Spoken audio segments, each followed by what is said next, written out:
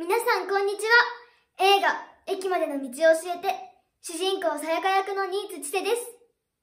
今月2月17日から韓国で劇場公開されることが決まり、本当に嬉しいです。この映画は、私が小学校1年生になる頃から2年生の秋まで約1年半かけて撮影した映画で、私にとってとても大切な作品です。